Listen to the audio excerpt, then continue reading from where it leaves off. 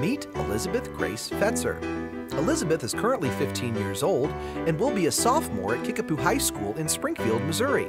She's the daughter of Stephen and Amy Fetzer. She's also got two older brothers, Ben and Barrett.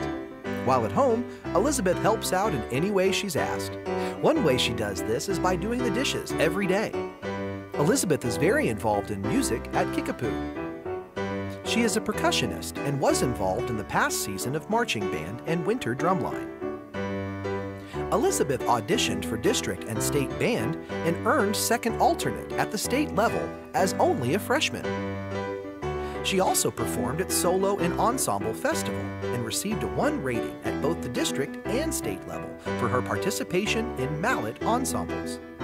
Elizabeth hopes to continue progressing in percussion while keeping her 5.0 GPA on a weighted scale.